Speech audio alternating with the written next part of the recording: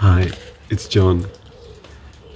Today in meditation, I could feel there's a higher aspect of ourselves already in a higher dimension, like in a new reality, in a new world.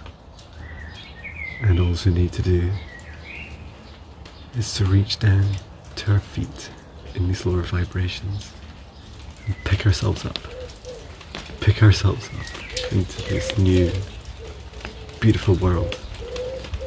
And even though it's raining today here in Scotland, inside my heart is shining bright. I'm looking forward to another new day. Thank you for watching. Sending my love.